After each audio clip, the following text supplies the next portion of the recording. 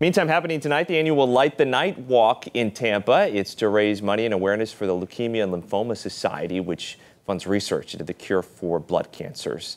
Uh, and every lantern has a story here if you see them. So the white lanterns, those are carried by survivors. The red by supporters, and the gold is for those walking in memory of a loved one lost to cancer. And our very own Courtney Robinson, she will be the MC tonight.